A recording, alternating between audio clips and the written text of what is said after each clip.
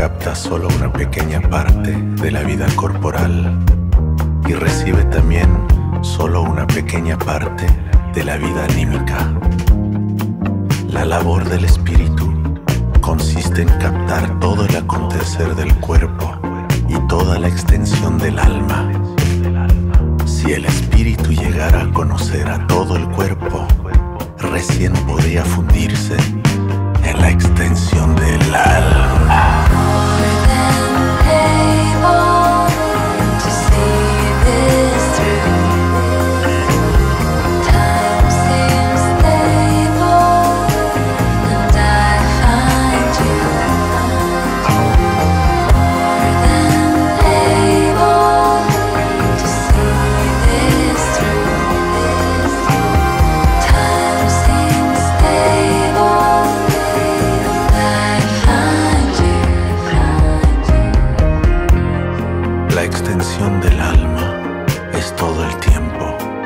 y el acontecer de todo el cuerpo es todo el espacio.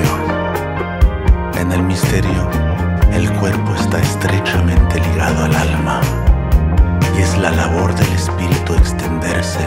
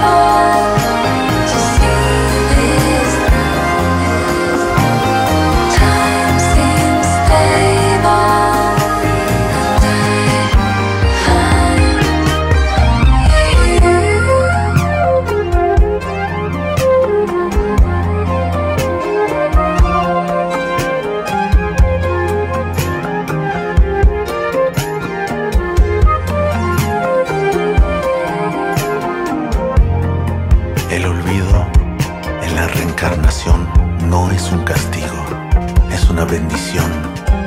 Queda lo positivo, el ganado, queda lo importante, la nueva forma de vida impresa en el nuevo cuerpo, el ser que ha descendido de nivel en la reencarnación. Trata de